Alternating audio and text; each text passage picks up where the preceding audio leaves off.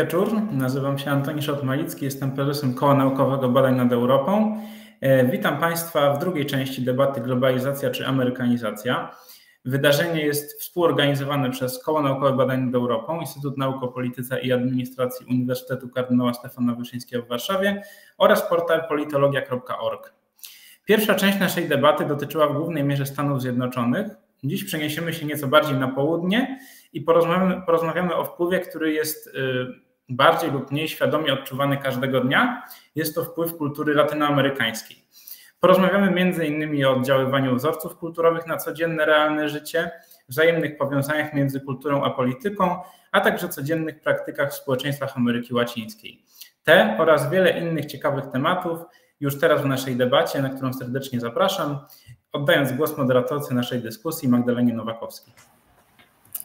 Dobry wieczór. Witam wszystkich widzów oglądających nas na naszych kanałach, na transmisji na kanale YouTube, a także na transmisjach e, na e, Facebooku, na e, profilu naszego Koła Naukowego Badania nad Europą, a także na profilu Instytutu Nauk o Polityce i Administracji Uniwersytetu Kardynała Stefana Wyszyńskiego. Dzisiaj razem z nami gością dr Marta Wójtowicz-Wcisło z Uniwersytetu Warszawskiego, a także e, redaktor Ola Snowiec, e, która jest autorką e, bloga o Meksyku, a także różnych książek i jest podróżniczką. Czy w związku z tym jeszcze raz chciałabym powitać nasze prelegentki. Dołączy do nas także jeszcze jedna z prelegentek, natomiast z powodów prywatnych i technicznych będzie nieco później. E, I tak, chciałabym zacząć od e, pani doktor Marty Wójtowicz-Cisło. E, w związku z tym, że ostatnia, ostatnim, na ostatniej debacie rozmawialiśmy o kulturze amerykańskiej w znaczeniu Stanów Zjednoczonych i wpływie i tym, jaki ma wpływ na świat, chciałabym zapytać, czy jest szansa na to, że kultura latynoamerykańska osiągnie poziom popularności kultury USA? Czy jest szansa na aż taką popularyzację i to, że będzie um, postrzegane na równi przez innych e, odbiorców. E, dobry wieczór Państwu, czy też dzień dobry. Bardzo dziękuję organizatorom za zaproszenie mnie do udziału w tej debacie. E, jeśli chodzi o Pani pytanie, Pani Magdo, myślę, że tak jak zwykle w nauce to czynimy, musielibyśmy się zastanowić nad tym, czym jest amerykanizacja, czym jest czym jest latynoamerykanizacja. Jeśli rozmawiamy o kulturze i jej wpływie, czy też o kulturach i ich wzajemnych wpływach, no to oczywiście zależy od tego, jaką e, wizję, czy też e, diagnozę kultury przyjmiemy. Mi osobiście blisko jest do mm, koncepcji transkulturowości, e, o której pisze niemiecki estetyk, filozof estetyki Wolfgang Welsch. E, i która jakby mm, odnosi się krytycznie do takiej wizji kultur e, pojmowanych jako zamknięte bańki, takie, które pozostają w wzajemnej e, izolacji, związane są z konkretnymi narodami lub grupami etnicznymi i są przywiązane do terytorium i konkretnego. I transkulturowość wskazuje raczej na, na sieci wzajemnych powiązań między, między wzorcami kulturowymi, na to, jak one się wzajemnie przenikają, e, powodując powstawanie nowych form kulturowych, e, hybrydalnych. No i w dzisiejszym kulturoznawstwie, w antropologii kulturowej widzimy właśnie wielość tych ujęć, które kładą nacisk na asemblaże, E, mozaiki e, i właśnie hybrydy. E, I takie jest też moje spojrzenie. To znaczy, widzę, jak w kulturach, powiedziałabym raczej latynoamerykańskich, czyli tych, które rozwijają się na kontynencie północno- i południowoamerykańskim, widzimy wpływy kultur z innych części świata, czy wzorców kulturowych, E, i też e, widzimy, jak, e, jak one się różnicują, to znaczy te wzorce kulturowe, I widzimy oczywiście, to tutaj już jakby przechodząc do, do, do odpowiedzi na Pani pytanie, jak te, te wzorce latynoamerykańskie, wzorce kulturowe są obecne coraz bardziej w Europie, mówiąc krótko. Czy jest, jest szansa na to, że czyli jeżeli, jeżeli przyjmiemy, że chodzi tutaj o wzorce kulturowe, no to jakby oddziałują moje, moim zdaniem one, one obecnie i są coraz silniejsze, nie tylko w Europie, ale i na całym świecie. Czy osiągnie, jest tu też oczywiście obecność konkretnych towarów, konkretnych produktów, konkretnych substancji pochodzących z kontynentów amerykańskich, ale mając właśnie na uwadze to terytorium na południe od, od Rio Grande. I, I tak są one coraz bardziej obecne. Natomiast niekoniecznie odnoszą się tylko one do, czy dotyczą one tak zwanej kultury masowej. I wydaje mi się, że właśnie ważne jest to, że są to wzorce i mam, to, mam tu na myśli e, konkretne chociażby praktyki rytualne, e, czy też e, koncepcje polityczno-prawne, które przenikają i wywierają wpływ na, na to, jaki kształt ma chociażby prawodawstwo europejskie, czy też życie religijne we współczesnej Europie. Bo widzimy obecnie, że nawet jeżeli kultura latynoamerykańska jest, jest powszechna u nas, to jest powszechna w tym takim trochę uważanym za gorszy nurt, typu na przykład telenowele. I czy jest możliwość, żeby faktycznie nieco inne źródła przenikały do kultury, do świata na przykład europejskiego z kultury amerykańskiej, czy jednak zatrzymamy się na tym etapie e, telenowel? Znaczy, ja wiem, że to jest trudne, ponieważ nie wiemy, ale jakby pani doktor przypuszczała tutaj? E, no tak jak, tak jak już e, wspomniałam, że, mm, że mm, nie tylko ta kultura masowa, nie tylko telenowele, a jeżeli kultura masowa, to oprócz telenoweli też seriale, które które nie są, nie mogą być uważane za, za telenowele, chociażby popularność Netflixowego serialu Narcos, mhm. E, ale też, nie wiem, kuchnia latynoamerykańska, prawda, która jest już, już y, w Warszawie. Mamy wiele restauracji, które, które oferują kuchnię latynoamerykańską z różnych regionów Ameryki Łacińskiej ale to, o czym wspomniałam, ta kultura, e, która może być uznawana za awangardową, e, czyli praktyki rytualne pochodzące z regionu Ameryki Łacińskiej, jak na przykład tak zwane szałasy potu, czy też łaźnie parowe.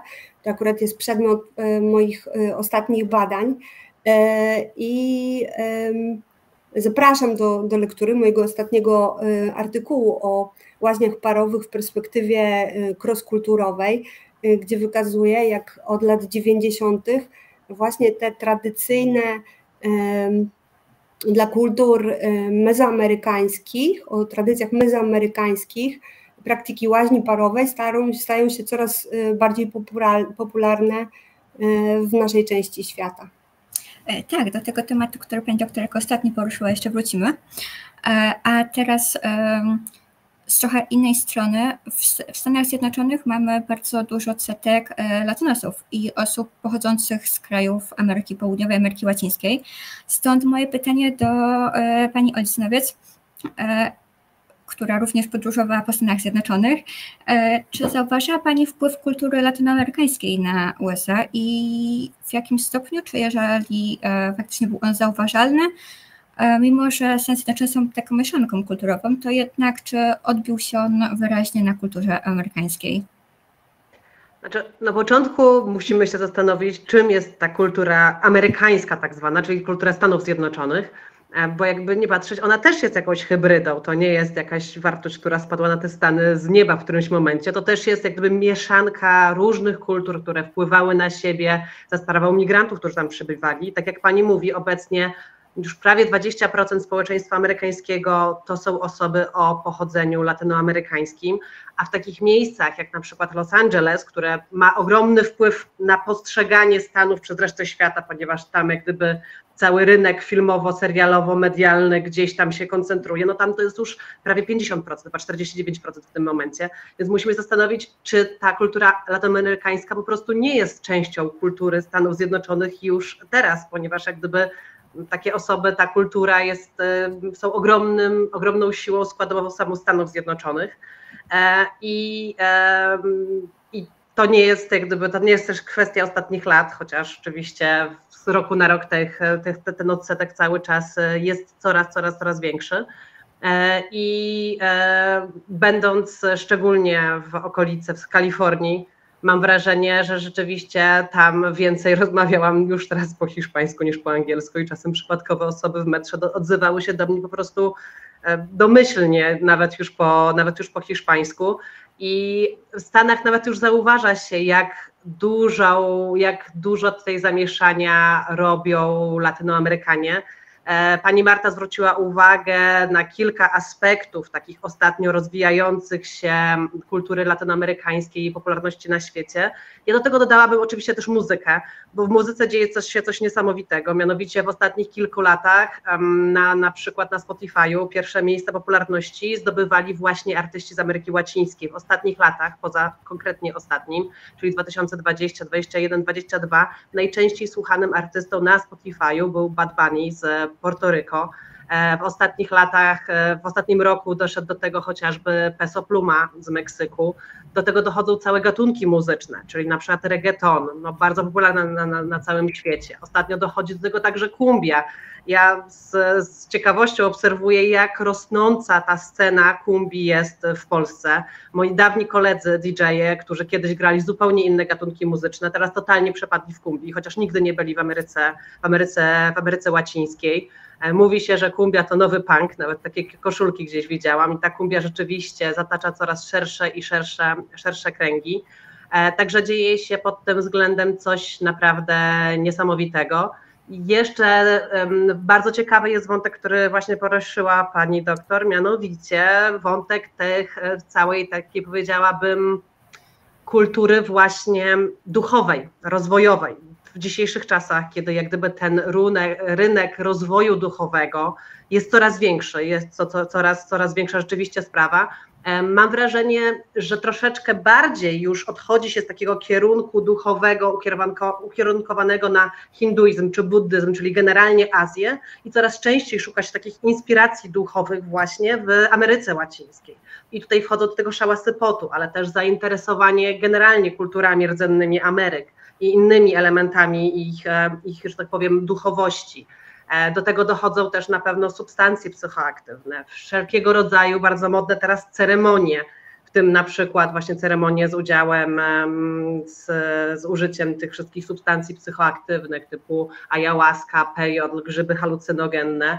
E, I do tego też dochodzą takie nowe twory, jak na przykład ceremonia kakao, która łączona jest z kulturą e, majańską, ale tak naprawdę jest dość nową nową jakością samą w sobie, też to jest bardzo, wydaje mi się, bardzo popularne, więc ten temat telenowel gdzieś wydaje mi się odchodzi w tyle i wydaje mi się, że ja bym szukała też e, takiej takiego, że wielu ludzi szuka rzeczywiście takiego drogowskazu kulturowego, ale też duchowego w tej Ameryce Łacińskiej, troszeczkę wierząc, że tamtejsze grupy etniczne nie zatraciły jeszcze czegoś, co nasza cywilizacja europejska już gdzieś na jakimś szczeblu tak zwanego rozwoju zatraciła. Jeśli mogę coś tutaj nawiązać, tylko, tylko nawiązać do tego, co powiedziała y, pani, pani Ola Synowiec. Jakby jak najbardziej się zgadzam tutaj i, i też dostrzegam tą popularność y, muzyki, y, gatunków muzycznych wodzących się z Ameryki Łacińskiej. I nawet w sobotę miałam okazję też tańczyć tutaj w jednym z warszawskich klubów do, do właśnie muzyki latynoamerykańskiej. Także jest ona tutaj coraz bardziej obecna, przynajmniej w stolicy. E, nie wiem, jak, jak, jak w innych e, miastach w Polsce.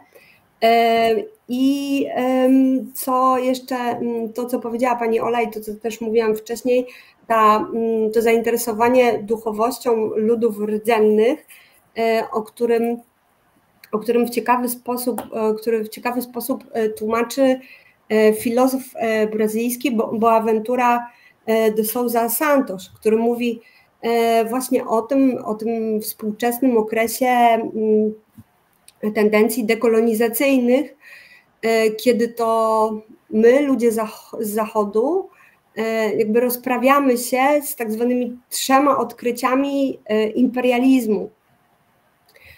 Czyli chodzi tu o to, że odkryciem był dla Zachodu wschód, który służył dla niego, dla Zachodu, dla ludzi z Zachodu nie jako, jako zwierciadło, jako, jako to zwierciadło, jaka, jak, jako możliwość zmierzenia czy wykazania różnicy. Więc y, to miałoby obrazować powrót i zwrot, znaczy nie tyle powrót, co zwrot ku filozofiom wschodu i odkrywaniu filozofii wschodu, co jest obecne no, coraz silniej od drugiej połowy XX wieku. Po drugie, tym kolejnym odkryciem imperialnym miałby być, miałby być inny jako dziki, czy dziki jako inny, który był też y, uznany w okresie odkryć geograficznych i podbojów i okresu kolonializmu jako, jako gorszy. I teraz właśnie następuje zwrot i dowartościowanie tych, tej rdzenności i tej wiedzy przechowywanej przez, przez ludy rdzenne. No i kolejny zwrot polega na, na dowartościowaniu natury, która y, przez y, y, w myśli Zachodu była uważana jak za coś zewnętrznego, za coś, co stanowi z jednej strony zagrożenie, a z drugiej strony zasób, czyli coś, co możemy eksploatować. Da? I ten zwrot ku naturze jest tak bardzo też y, obecny właśnie w zainteresowaniu różnymi technikami i praktykami, które miałyby do nas, nas do tej natury zbliżyć i jednocześnie pozwolić ją nam ocalić dla, dla przyszłych y, pokoleń. I właśnie na to chciałam zwrócić też uwagę, mówiąc o o mm, przenikaniu y, ujęć czy czy mm, do dopuszczaniu, dowartościowywaniu, przejmowaniu ujęć, y, które są rozwijane mm, w, chociażby w obszarze andyjskim, w konstytucjonalizmie andyjskim y, i na przykład upodmiotowieniu, chodzi tu konkretnie o upodmiotowienie natury, czyli natura staje się podmiotem prawa, należy jej bronić, ponieważ ona sama za siebie jakby nie może mówić e, w ludzkich trybunałach. E, także jest to przykład Ekwadoru, który w 2008 roku w swojej konstytucji przyjął już właśnie to, to, tę perspektywę uznania natury za, za podmiot prawa. To tak, dopowiadając do tego, co, co, co powiedziała E, jeszcze pani Ola Synowiec i co, e, o czym mówiłam w mojej poprzedniej wypowiedzi. Ja tylko ostatnie zdanie do tego, bo to jest rzecz, o której ostatnio nawet rozmawiałam. Jeśli chodzi o dodawanie osobowości prawnej przyrodzie, chociażby rzekom, e, ostatnio ten pomysł, nie ekwadorski, ale też nie wiem, w Kanadzie chyba podobne rzeczy się działy, w Nowej Zelandii też, pragnie wykorzystać grupa osób stawiających się za rzeką Odrą, pragnąca nadać osobowość prawną rzece Odrze, więc to też, też jest bardzo ciekawy wątek, także dziękujemy pani doktor za to, bo naprawdę to też są ciekawe, wydaje mi się, jak gdyby wzorce, że, nie, że, że kultura to, to nie tylko kultura popularna, ale także wzorce kulturowe prawne chociażby. Jasne, to są też wzorce mm, tego, jak my odnosimy się, jakie są nasze relacje y, z innymi ludźmi, z innymi przedmiotami, obiektami, ale też bytami, prawda, w świecie, w którym żyjemy. Tak, ogólnie to są bardzo ciekawe zagadnienia i dużo osób właśnie myśląc kultura postrzega głównie kulturę popularną, która się głównie do, do nas przedostaje, więc bardzo się cieszę, że poruszyły Panie te tematy trochę mniej oczywistej kultury i tego, jak ona wpływa na, na resztę świata. E, wracając jednak do kultury i przenoszenia jej na inne, inne sfery życiowe, e, tutaj kieruję pytanie do e, dr Wójtowicz-Wcisło. Jak wiemy, kultura, to co się pokazuje, co jest pokazywane przykład w mediach, dosyć mocno wpływa na to, jak żyjemy. Jaki wpływ kultura audiowizualna posiada na społeczeństwa latynoamerykańskie? Czy faktycznie zauważamy, czy jest raczej nieodkryta sfera? E, jest na ten temat wiele badań. E, rozmaite dyscypliny podejmują, podejmują kwestie wpływu między, mm, między mm, tak zwaną kulturą, a, e, a naszymi, naszym sposobem myślenia czy działaniami. E, wspomnijmy chociażby takich pionierów w zakresie tych, w, tym, w tym temacie, to na przykład Edward Sapir, który badał wzajemne relacje między doświadczeniem, kulturą i też językiem i wskazywał, że to doświadczenie jest jakby wielo, mm, wielokierunkowe, da? czyli że nie jest nigdy tak, że ten jeden, jeden element, element determinuje pozostałe, czy, tylko że są to wzajemne wpływy. E, mamy z kolei filozofa Wittgensteina, który, y, który mówi, Ludwig Wittgenstein mówi o grach językowych, pokazując nam e, też jak je, w jaki sposób język e, konfiguruje nasz sposób myślenia i działania. I co więcej, możemy na ten temat powiedzieć, że moglibyśmy mówić na ten temat długo, ale już zaraz przejdę do sedna. Istnieje też między innymi takie pojęcie do reprezentacji mentalnych, czy też modeli mentalnych, e, które pozwala nam badać ten wpływ. E, moim zdaniem, jeśli chodzi o Latynoamerykę, to ciekawym przykładem będzie narkokultura, czyli ciekawym przykładem tych wzajemnych oddziaływań. E, jednak tutaj kładłabym nacisk na to, że e, patrzę na to jak, jako na wzajemne oddziaływania między rzeczywistością, tak zwaną, między naszym życiem, a, e, a mm, wytworami kulturowymi. I świetnie pokazuje to, to film, który mogłabym Państwu, chciałabym Państwu polecić film izraelskiego reżysera, reżysera Shaula Schwarza sprzed ponad 10 lat, z 2013 roku, e, który nosi właśnie tytuł Narkokultura. E, I obserwujemy w tym, w tym filmie grupę, jest to film dokumentalny, obserwujemy w niej zespół, e, który, który tworzy, specjalizuje się w narkokorridos, czyli piosenkach, które opiewają życie i czyny szefów karteli narkotykowych.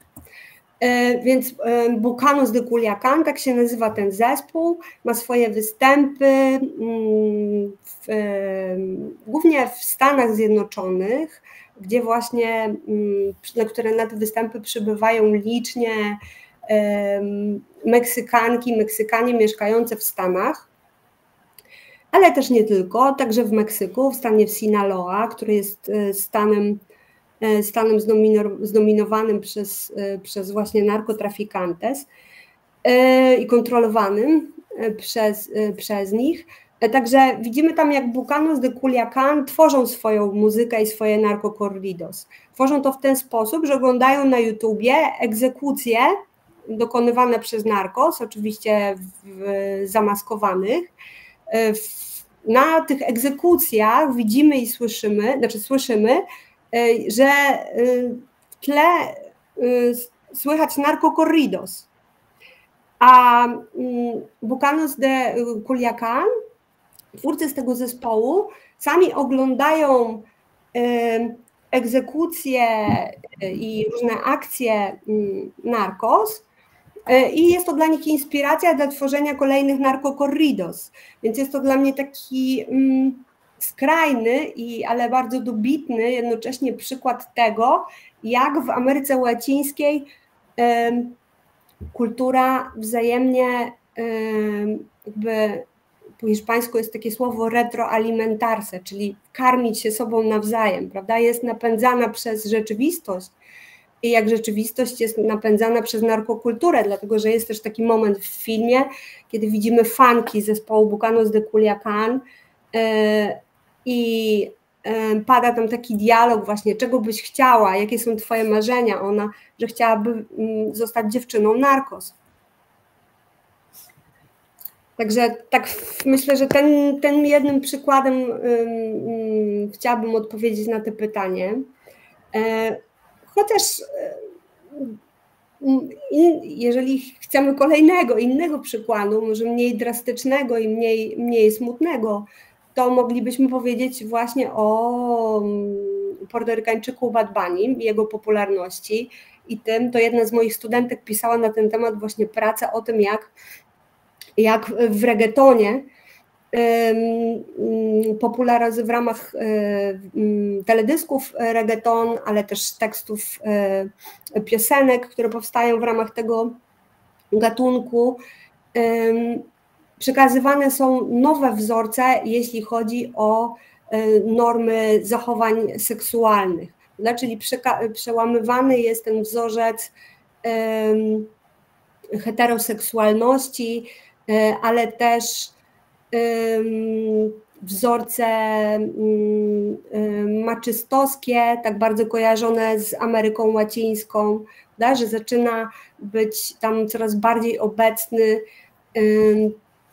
taki y, wzorzec kobiety, która jest niezależna, która jest silna, która do tego, żeby być szczęśliwa, niekoniecznie potrzebuje u swego boku męskiego partnera. Mhm. Myślę, że do tego tematu e, partnerów jeszcze wrócimy podczas późniejszych pytań od publiczności, ale e, kontynuując e, inną część, bo pytania od publiczności będą zadawane na końcu, zachęcam do zadawania pytań także publiczność. Mam tutaj teraz, wracając do filmów, pytanie do pani, do, do pani Oli Synowiec. Pytanie dotyczące właśnie e, wpływu kultury meksykańskiej na świat pod względem filmów animowanych, a także Dia de los Muertos, który bywa porównywany z Halloween, ale nie jest tym samym co Halloween. I jakby Pani chciała powiedzieć o, czym, o tym coś więcej, tak żeby przedstawić też naszym e, słuchaczom e, te różnice, ponieważ e, one są, są zauważalne, a Dia de los Muertos wciąż nie jest tak popularny jak Halloween. I czy, ma, czy jest szansa, żeby to się zmieniło? Czy nie jest tak popularna jak Halloween? Ja myślę, że to się bardzo zmienia w ostatnim czasie. Też obserwując chociażby scenę warszawską, ile przed w ogóle Dia de przed 1 listopada, w tym roku chociażby było imprez nawiązujących właśnie mm, do Dia de Muertos z, z, takimi nazwami w nazwie, z muzyką latynoską, z malowaniem się na Katrinas i Katrinów, czyli malowanie się na te kościotrupy. E, ja też byłam w tym roku zapraszana na parę imprez firmowych e, po prostu w stylu meksykańskim, więc myślę, że Halloween się już niektórym może trochę przeżarło i naprawdę Dia de Muertos wchodzi ostro, powiedziałabym kolokwialnie, do, mm, do Europy i do Polski.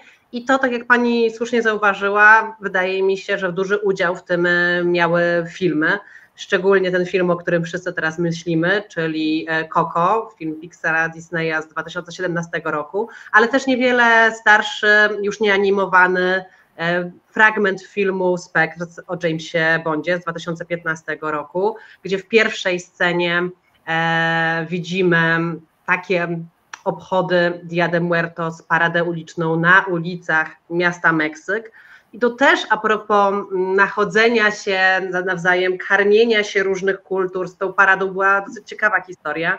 To jest coś, co nazywa się czasami efektem pizzy, jako że pizza mm, włoska wyjechała do Stanów, w Stanach zmieniła się, nabrała się jakiś cech i ta pizza amerykańska teraz sprzedawana jest we Włoszech.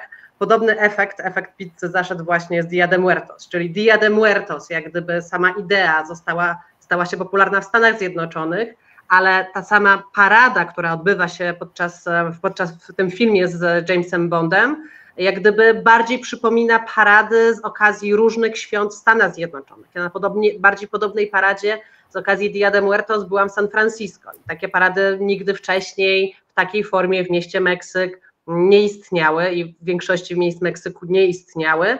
I jak gdyby ten film zaszczepił nową tradycję, bo od czasu powstania tego filmu takie parady się odbywają. Nawet meksykański sekretarz turystyki, czyli odpowiednik ministra, um, stwierdził, że zaczną tę paradę robić, ponieważ um, co będzie, jak turyści naoglądają się Bonda, zaczną przyjeżdżać, szukać tej parady, pytać o tę paradę, tej parady nie będzie, więc od 2016 roku ta parada e, się, się odbywa. I um, ja też troszkę pracuję w turystyce, oprowadzam turystów po Meksyku, organizuję takie wycieczki po Meksyku i nawet dzisiaj mam ten temat rozmowę z koleżanką, która wynajmuje busy w Meksyku. I ona mówi, co ci Polacy, co oni już nie znają innych terminów na przyjazd do Meksyku, tylko Dia de Muertos, że już w tym momencie, a mamy styczeń, na przyszły rok, wszystkie busy ma zarezerwowane przez Polaków właśnie na, na ten termin. E, I to się ewidentnie połączyło z, z, z premierą filmu, filmu Coco, wydaje mi się. Także um, to, to dużo, dużo namieszało, ale oprócz filmu Coco są jeszcze filmy meksykańskie, które wydaje mi się, że nie zrobiły takiej kariery i wydaje mi się, że z jakiegoś powodu, bo po prostu moim osobistym zdaniem Coco jest po prostu lepsze. Jest taki film, który nazywa się Księga Życia, on jest odrobinkę starszy niż Coco, ostatnio wyszła Salma w Krainie Dusz, no to to już według mnie jest taki fabularny, lekki niewypał. Ten film miał się ukazać w tym samym roku co Coco, ale zrezygnowali właśnie przez te koincydencje, stwierdzili, że, że konkurować z Disneyem nie będą, więc ten film ukazał się później. No ale te, te filmy jak gdyby mają tutaj pewnie mniejszy udział w popularyzacji, w popularyzacji tego, tego święta to Dia de Muertos e, jest taką marką Meksyku i to marką Meksyku już od jakiegoś, od jakiegoś czasu, zaczynając od tego, że zostało wpisane na, na listę dziedzictwa UNESCO, ale też e, jak gdyby Meksyk, meksykański też rząd, meksykańskie Ministerstwo Turystyki po prostu stawia na to Dia de Muertos i robi z tego bardzo świadomie taką meksykańską markę. I wydaje mi się, że to naprawdę bardzo procentuje patrząc na to właśnie to, o czym mówię, jak dużo wycieczek w tym momencie, w tym właśnie okresie do Meksyku się odbywa. Chociażby, nie, ale już też jak gdyby elementy tej kultury wchodzą też, wydaje mi się, do popkultury bardzo malowanie twarzy i tak dalej, i tak dalej. Na Dia de Muertos jest naprawdę popularne już chyba teraz wszędzie na świecie.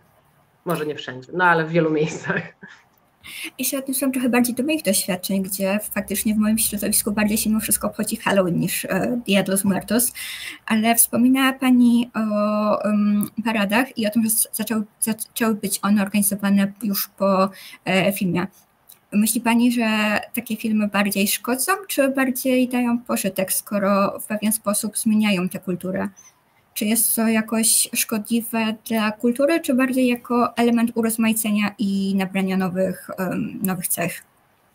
Ja nie uznaję takiego słowa jak szkodliwy w stosunku do kultury. Nie wiem, szkodliwe w stosunku do czego miałoby to być. Jak gdyby kultura, tak jak mówiła zresztą e, pani doktor, jest jak gdyby cały czas się zmienia. To nie jest jak gdyby krystaliczna, nie, jak gdyby krystaliczna kultura jakiegoś miejsca, która jest warta tylko coś, jeśli jest niezmienna, jeśli jest niczym niezmącona. Kultura, która się nie zmienia, po prostu umiera. Tradycje, które się nie zmieniają, umierają. Jak gdyby tradycy, tradycyjna w tradycji jest tak naprawdę zmiana. E, I e, to jest naturalne, że po prostu kultury, które, które żyją obok siebie, będą na siebie oddziaływać, że jak gdyby cały czas wszystko się będzie, będzie zmieniać. Więc to, że filmy wpływają na rzeczywistość, jak gdyby to, to nie jest pierwszy przypadek. Tutaj 2015 rok i film Spektr, to się działo i się, i się dziać, dziać będzie.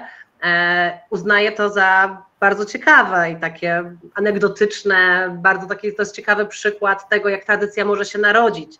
I to też daje nam perspektywę do tego, jak mogły się narodzić inne tradycje, które uznajemy za niezmienne z dziada pradziada, które spadły do nas, na nas jak jakaś z nieba, jak jako, jakaś taka wartość, to tak naprawdę mogły powstać w bardzo podobny sposób, czyli mogły się narodzić od jakiegoś takiego zabawnego, na połowę anegdotycznego um, wydarzenia, także dla mnie to jest e, bardzo ciekawe, e, że na naszych oczach ta kultura meksykańska, kultura latynoamerykańska generalnie się rozwija, czerpie z innych miejsc. także nie postrzegałabym tego w kategorii szkody. Zupełnie nie. Jestem ciekawa Pani doktor zdania na ten temat. Słuchamy. Jeżeli Pani doktor chciałaby się odnieść, to proszę bardzo. Jasne, zastanawiam się nad tym. Też, też zgadzam się y, z panią, y, z panią Olą y, w, tym zakresie. No oczywiście, tak jak już rozmawiałyśmy wcześniej, że, że nie ma czegoś takiego jak statyczność i, i, i, i to, że w kulturach i w, te, które kostnieją, umierają i być może stąd wynika właśnie zainteresowanie mm, ludzi w Europie, tym, tą odmiennością, prawda? To takie oscylowanie między czymś, co jakby tą fobią przed odmiennością, a jednocześnie zafascynowanie odmiennością, dlatego że w jakiś sposób chociażby w sferze religijnej nastąpiło tutaj pewne skostnienie e, i mm, wypalenie, mogłabym nawet powiedzieć, i że to też na co zwrócił uwagę mm, jeden y, z moich kolegów na, na konferencji hispanistów, że być może właśnie te, mm, ten, to zwrócenie się ku rdzennym rytuałom pozwoli nam na e, taką wewnętrzną dekolonializację. Bo jeżeli mówimy o, o Dia de los Muertos, prawda, święcie zmarłych, i widzimy w, e, w, w okresie, na początku listopada wielki E, wielki ołtarz e, na cześć e, zmarłych, prawda? Wiadomo, że jest to inscenizacja, że jest to rodzaj mm, mm, no, instalacji teatralnej, można powiedzieć, a jednak, a jednak mi samej każe to myśleć, czy kojarzy się z ołtarzami, czy dziadami, prawda? Naszym tradycyjnym, powiedzielibyśmy, z tych rejonów świętem, które jakby no zostało porzucone, zapomniane, odeszło w niepamięć, chociaż wszyscy czytamy dziady y, na lekcjach języka polskiego, prawda, ale mm, święto zmarłych w Meksyku to mm, nie tyle właśnie, jak mówi pani Ola Synowiec,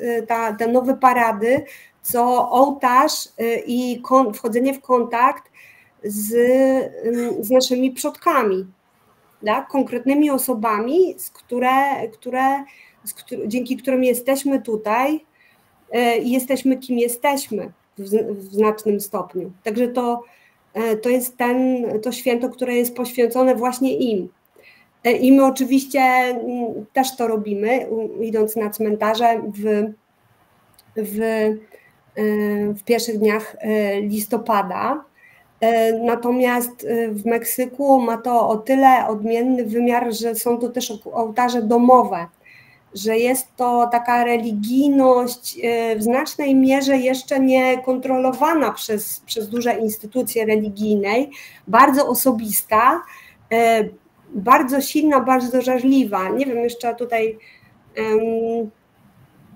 co mogłabym więcej powiedzieć na ten temat? Aha, no też to, co fascynuje, myślę, myślę y, ludzi z Europy, to to, że, y, że mm, to przeżywanie y, świąt religijnych w Ameryce Łacińskiej jest tak barwne i obfitujące w, w materialne przedstawienia, w cały koloryt, prawda, w to, że jakby mm, kwitnie tam e, i wciąż jest bardzo silna e, wytwórczość związana z, z tą sferą religijną i rytualną.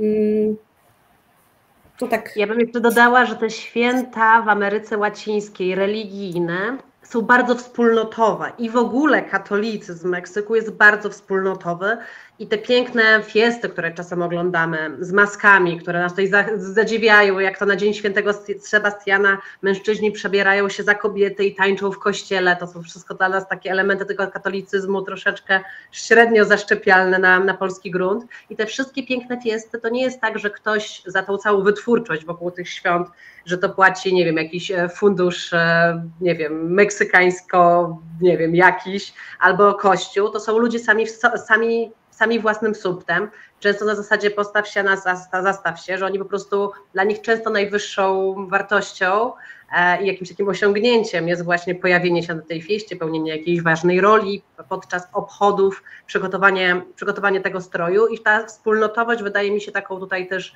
dużą rzeczą zarówno przy, w przypadku tych fiest religijnych, jak i w przypadku samego Dia de Muertos. Ja jeszcze co do Dia de Muertos, tak chciałabym jeszcze zasygnalizować coś takiego, co nie zawsze wydaje się chyba nam oczywiste, ale już dzisiaj wielu meksykańskich historyków zaznacza, że korzeni tego Dia de Muertos trochę na wyrost szukamy w tych um, kulturach przedhiszpańskich, na przykład u dawnych Meszików, że tak naprawdę wiele elementów dzisiejszego obrządku tego święta um, przypomina dawne obchody europejskie, hiszpańskie, E, I ja im dłużej spędzałam to Dia de Muertos w Meksyku, a obchodziłam to święto, nie wiem, chyba z 10 razy w Meksyku, tym bardziej zauważałam właśnie jakieś podobieństwa, tak jak mówi pani doktor, z dawnymi polskimi obyczajami, chociażby z dziadami, ale też rozmawiając, porównując niektóre tradycje mm, z, z Meksyku, z moją koleżanką Kaszubką, która jak gdyby jest mniej więcej w moim wieku,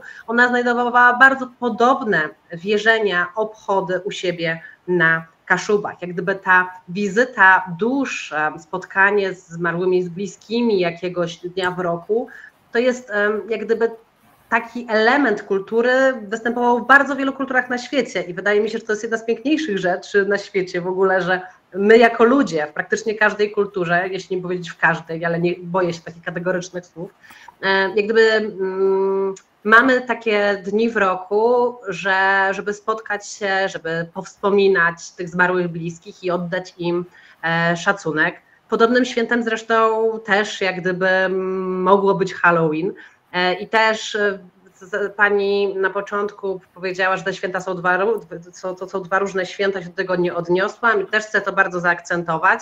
Kiedyś gdzieś w Meksyku na stacji autobusowej zobaczyłam taki plakat, gdzie e, Katrina, czyli ta kościotrupia dama w kapeluszu, symbol meksykańskiego Dia de Muertos, kopie w tyłek e, czarownicę z lampionem w kształcie dyni w dłoni, czyli symbol amerykańskiego Halloween. I jedna do drugiej, znaczy Katrina do tej czarownicy, do tej wiedźmy mówi: Zabieraj się na swoje rancho, brońmy naszych um, meksykańskich tradycji. E, I że Dia de Muertos, jak gdyby w, chcę tego tylko tak rozróżnić. Dia de Muertos jest naprawdę zupełnie osobnym świętem w mentalności e, Latynoamerykanów, w mentalności e, Meksykanów, Meksykanek. I też podobnie jak e, u nas w Polsce, Kościół meksykański wypowiada się bardzo niepochlebnie, znaczy nie wszyscy oczywiście, ale niektórzy księdza raz każdego roku pojawiają się doniesienia w prasie, że dany ksiądz e, powiedział chociażby, że Halloween to są urodziny szatana, że Halloween to jest e, otwieranie bram do piekła i tak dalej, i tak dalej. Co do Dia de Muertos często takiej wątpliwości nie mają, bo jest to przykładnie katolickie święto do tego stopnia, że w tym roku przed Dia de Muertos w kościołach widziałam dekoracje e, z, zrobione z kościotrupów. Przed jednym ołtarzem był cały taki długi stół w kościele postawiony e, i na nim były usadzone takie figury naturalnej wielkości ludzkiej kościotrupów. Więc to też chcę zaakcentować, że mam wrażenie, że w Polsce często jest takie niezrozumienie dla tego, czym Dia de Muertos jest i jak jest postrzegane, i często odłączanie Dia de Muertos od tradycji katolickiej podczas gdy w, w mniemaniu samych Meksykanów, Meksykanek, jak gdyby jest to święto jak najbardziej katolickie i zaznaczam, e, o wiele bardziej e, podobne do tego, co kiedyś obchodzono w Europie i czasami się jeszcze obchodzi, niż nam się może wydawać. Myślę, że sporo tutaj e, naszych tradycji związanych z świętem zmarłych zostało w pewien sposób wyciszone, więc zagubiliśmy trochę tam naszą słowiańską tradycję. E, jednocześnie chciałabym e, przywitać naszą trzecią e, panelistkę, która niestety, która przed chwilą do nas dołączyła, pani doktor Monika Sawicka z Uniwersytetu Jagiellońskiego, specjalistka od Brazylii. W związku z czym trochę inne państwo niż dotychczas, bo rozmawiałyśmy głównie o Meksyku, przeniesiemy się zatem w trochę inną część państw latynoamerykańskich. I w związku z tym, że pani doktor nas dołączyła, chciałabym się teraz zwrócić do pani doktor o wzajemne powiązania między kulturą i polityką w Brazylii, bo to też jest ciekawy temat, który nas e, dotyczy. E, dzień dobry wszystkim. Mam nadzieję, że mnie słychać. Tak, słychać. Słychać, świetnie. Bardzo dziękuję za zaproszenie i bardzo przepraszam za, za spóźnienie i za to, że nie mogłam dołączyć od godziny 18 e, i uczestniczyć i żałuję, że, że przegapiłam to, co mówiono wcześniej na temat Meksyku, ale mam nadzieję, że to jeszcze będzie możliwe do, do odsłuchania w późniejszym terminie. Czyli mm, powiązania związane z polityką i z kulturą. E, ich jest e, bardzo dużo. I teraz w zależności od tego, jak na to spojrzymy, możemy zastanawiać się nad tym, czy w jakiś sposób charakter narodowy Brazylijczyków, czyli kultura rozumiana e, w ten sposób też identyfikowana z tożsamością narodową, z pewną charakterystyką Brazylijczyków jako społeczeństwa, czy i na ile ona w jakiś sposób determinuje życie polityczne. I tutaj E, badania nad tak zwaną brazylijskością pokazują, że i, i wskazują nad tym, że, że te powiązania rzeczywiście są, że o Brazylijczykach między innymi od lat 30. dzięki takiemu bardzo znanemu brazylijskiemu socjologowi, y, który opisywał ten charakter narodowy y, i postawił taką tezę, że Brazylijczyk jest człowiekiem serdecznym. To się bardzo dobrze kojarzy, bo są ciepli, bo lubią skracać dystans, bo lubią zwracać się do siebie po imieniu, y, lubią rozmawiać na tematy osobiste, nawet jeżeli jeszcze bardzo są wylewni, jeżeli kogoś bardzo dobrze nie znają, to są gotowi stosunkowo szybko się przed innymi osobami otworzyć. E, natomiast to ma także pewne negatywne elementy i tu dochodzimy też do kwestii, jaki to ma wpływ na życie polityczne e, i to jest brak przede wszystkim rozróżnienia między sferą publiczną i między sferą prywatną, życiem rodzinnym, interesami osobistymi. I to wiąże się z takimi zjawiskami życia politycznego, z jakimi Brazylia niestety też jest kojarzona, czyli e, pewnym klientelizmem, e, pewnymi powiązaniami e, nieformalnymi, a też często nielegalnymi, jakie są zawiązywane między urzędnikami, między osobami, które mają służyć państwu i dobru publicznemu, e, a ich tymi klientami e, i osobami, które potrzebują ich pomocy. To się wiąże z problemem i bolączką Brazylii, o której także niestety słyszeliśmy w ostatnich latach bardzo wiele, czyli ze zjawiskiem korupcji i brakiem przejrzystości, brakiem transparentności. I mamy tego bardzo, bardzo wiele przykładów, tak? Więc ten człowiek serdeczny na pewno no, to jest, może zachwycać, że Brazylijczycy są tacy otwarci, że przecież zwracamy się do polityków po imieniu, bo to też jest coś, co wyróżnia kulturę brazylijską. E, prezydent obecny Brazylii nazywa się Luiz Inácio Lula da Silva, to jest jego pełne imię i nazwisko. W prasie w mediach, politycy wypowiadający się na jego temat, wywiady, zresztą sam zainteresowany. Nie, nie chcę, żeby mówiono do niego Luiz Inácio albo prezydent Lula da Silva, on jest po prostu Lula. I wszyscy mówią, mówią do niego Lula. Tak samo y, jej prezydentka pierwsza w historii Brazylii, polityczka, która go zastąpiła, e, bo on rządził wcześniej już w roku między 2003 do 2010 roku i później jego następczyni między rokiem 2011 e, do roku 2016, Dilma Rousseff, e, była Dilmą dla, dla wszystkich Brazylijczyków. Ewentualnie politycy decydują się, żeby korzystać z ich nazwisk, czyli prezydent Jair Bolsonaro najczęściej po prostu był określony jako Bolsonaro i on zresztą sam nie miał nic przeciwko temu, albo co prawdopodobnie kojarzą wszyscy fani piłki nożnej, mamy wręcz zdrobnienia, czyli mamy imię Ronaldo e, i jego zdrobnieniem będzie Ronaldinho co prawdopodobnie kojarzą, kojarzą takich graczy, osoby, które śledzą piłkę nożną. Więc to jest e, pewien może z perspektywy polskiej, gdzie zwracamy się per pan, pani po nazwisku, być może jest to coś bardzo interesującego, odmiennego dla nas,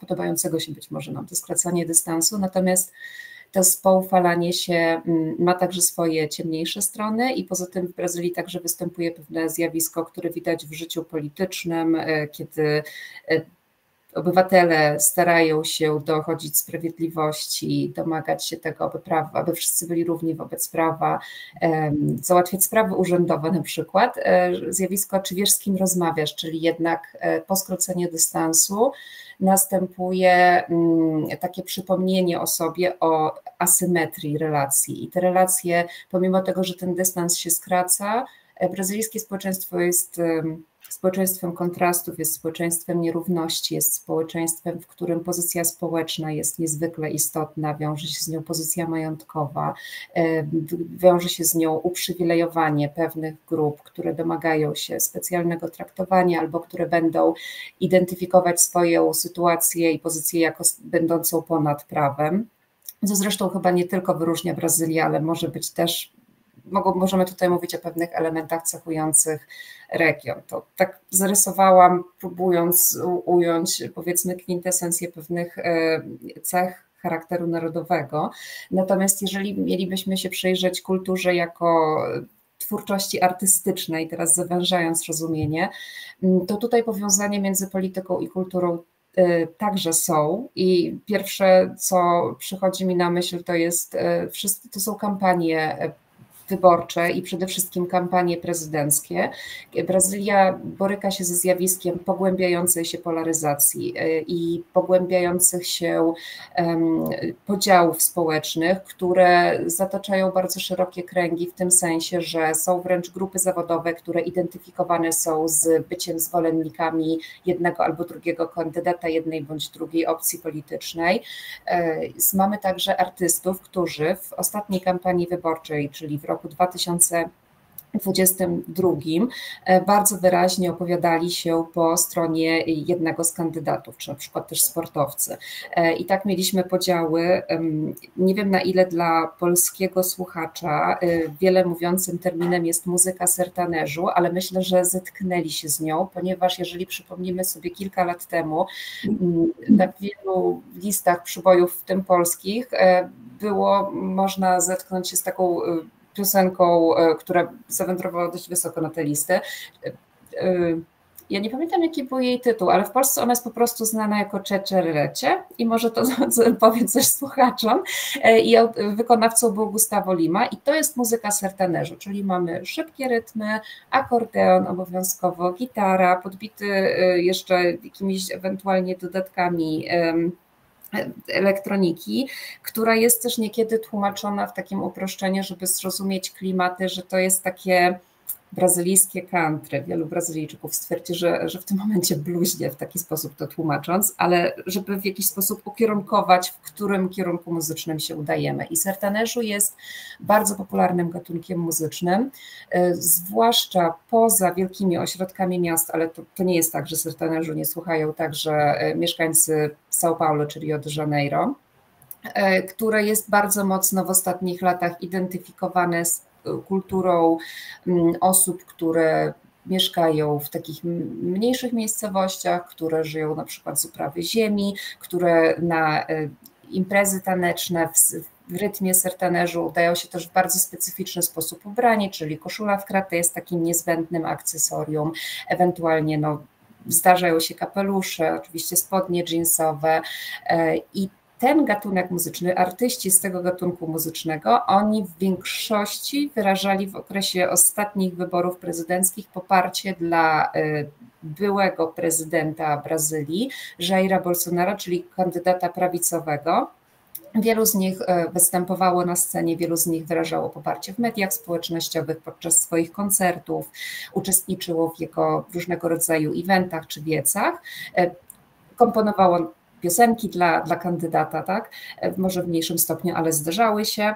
E, po drugiej stronie mamy rzeczywiście większe i bardziej zróżnicowane grono wykonawców muzycznych, którzy poparli w e, ostatniej kampanii wyborczej zwycięzcę tych wyborów, czyli właśnie obecnego prezydenta Lule, kandydata Partii Lewicowej, Partii Pracujących. I mamy tam y, kilka w ogóle gatunków muzycznych i artystów e, związanych z tymi gatunkami. Mamy tak zwane MPB, to się rozwija jako muzyka popular brasileira, czyli popularna muzyka brazylijska. To jest muzyka, mm, która e, jest muzyką, nie wiem, jakbym miała wskazać w Polsce ekwiwalent, no to mówimy o wielkich nazwiskach, o, który, którzy utworzyli artystów zmarłych i żyjących, nie wiem, Czesław Niemen, tak, Irena Jarocka, takie duże nazwiska tworzące od wielu dekad, już część osób nieżyjących ich utwory nadal są niezwykle popularne, bardzo doceniane. E, I tak w Brazylii mamy na przykład Caetano Veloso, który popiera Lulę, zdecydowanie występował e, też w jego różnego rodzaju eventach, mm, na koncertach swoich też jedno, jednoznacznie to manifestuje.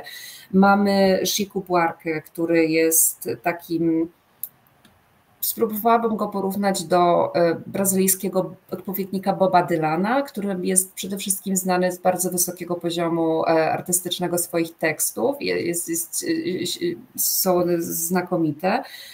Jeżeli chodzi o inne gatunki, mamy muzykę wykonawców muzyki pop, w tym osoby które reprezentują także mniejszości, na przykład e, seksualne, osoby trans, które występują, są bardzo e, typu mm, Pablo Witar, którzy jednoznacznie popierają e, prezydenta Lulę i popierali w ostatniej kampanii wyborczej. Mamy funk, który też być może jest znany obecnie polskiemu odbiorcy, ponieważ wykonawczynią funku jest chyba najbardziej obecnie rozpoznawalna gwiazda muzy brazylijskiej muzyki rozrywkowej, czyli Anita. Ona także poparła prezydenta Lula i ona ma ogromne zasięgi, więc uznane było, że to mogło w jakiś sposób też przyczynić się do, e, do, do jakiegoś drobnego zasilenia osób, e, zwiększenia osób, które byłyby gotowe zagłosować e, na tego kandydata, raperów czy twórców rocka brazylijskiego. Więc Artyści brazylijscy rzeczywiście w większym, może nawet niż w poprzednich wyborach stopniu, w ciągu tej ostatniej kampanii wyrażali swoje poparcie e, dla kandydatów, co narażało ich na ataki ze strony tych, którzy byli zwolennikami tej muzyki, byli fanami tego artysty, ale mieli odmienne poglądy polityczne.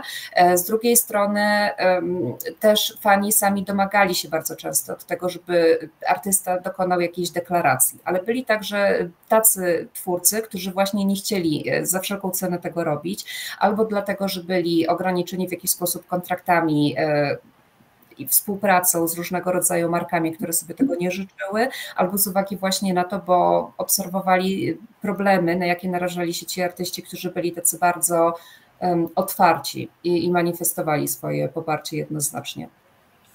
Myślę, że takie poparcie jednego bądź drugiego kandydata opcji politycznej zawsze niesie ze sobą konsekwencje, e, więc faktycznie jest to, nie e, mogło to nieść pewne nieprzyjemności. E, dziękuję Pani doktor za wypowiedź. E, teraz chciałabym wrócić też do Pani doktor, bądź, ale do Pani doktor Wójtowicz-Cisło e, z pytaniem dotyczącym ostatnich, te, dotyczącym tematem ostatnich badań Pani doktor, czyli popularyzacji użycia endemicznych substancji psychoaktywnych poza kontynentami amerykańskimi. Wydaje mi się, że to jest bardzo ciekawy temat i jeżeli chciała Pani doktor trochę o nim opowiedzieć, to będziemy chętnie słuchać. E, tak, już zaczęłyśmy, zaczęłyśmy e, o tym rozmawiać. Mówiła też pani, o tym pani Ola, e, Ola Synowiec, o popularyzacji mm, zarówno praktyk rytualnych, jak i, jak i właśnie substancji endemicznych, takich jak pejot, ale chyba w większym stopniu ostatnio ayahuasca, która jest takim napojem przygotowywanym z z mieszanki roślin właśnie amazońskich, e, czy chociażby mm, toksyna pochodząca z, y, z nie wiem jak się nazywa ten gatunek żaby, ale też występującej e, w obszarze mm, Amazonii, zwana ceremonia Kambon, nazywa się ceremonia y, zażywania tej substancji. Także wiemy o tym, że są one coraz e, bardziej popularne, wiele z moich studentek i studentów, przynajmniej raz w roku jest, e, jest, pojawia się taki temat pracy właśnie dotyczący ayahuaski, czyli jest to temat, który jest obecny, interesuje też, e, też młodych, młodych ludzi pod względem badawczym. Jest już na ten temat także ogromna literatura. Ta popularyzacja, to zainteresowanie substancjami endemicznymi zaczyna się w drugiej połowie XX wieku, od lat 60., wraz y, z rewolucją kontrkulturową.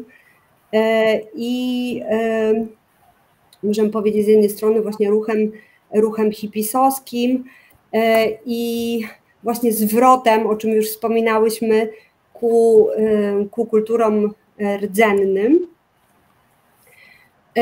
Bo wśród nich właśnie były, były te substancje tradycyjnie, rytualnie w,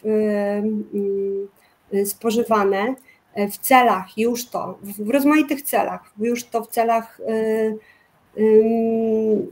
odpowiedzi, rozwiązania jakichś ważnych dla, dla konkretnej społeczności kwestii i podjęcia decyzji. Więc pozwano te rośliny, aby połączyć się z, z innymi wymiarami, z innymi bytami e, i, e, i właśnie e, odpowiedzieć na te ważne dla, dla społeczności pytania. Były też znane w Amazonii, jeśli chodzi o ayahuaskę, tak zwane wojny tak zwanych szamanów, czarowników, którzy e, spożywali substancje po to, e, żeby, no, żeby po prostu toczyć walkę z, z innymi czarownikami, e, ale także używano ich zwyczajnie w celach, moglibyśmy powiedzieć, zapewnienia takiego dobrostanu psychofizycznego, oczyszczenia organizmu, wyrzucenia z siebie toksyn, i powiedzmy, że takiej samoregulacji zarówno na poziomie jednostki, jak i, jak i, jak i całej społeczności. Także te użycia substancji zmieniały się zarówno e, geograficznie, od, były, były rozmaite w, w, rozmaitych społecznościach, jak i, jak, i w, jak i w czasie, dlatego że z wkroczeniem kolonistów, europejskich kolonistów e, i, i procesem metysażu też w Amazonii, jakby zmieniało się to, zmieniało się to użycie choćby, choćby. E, i zaczęły powstawać wokół, wokół, tego, wokół tego użycia e, osobne, możemy powiedzieć, e, nawet religie czy kościoły.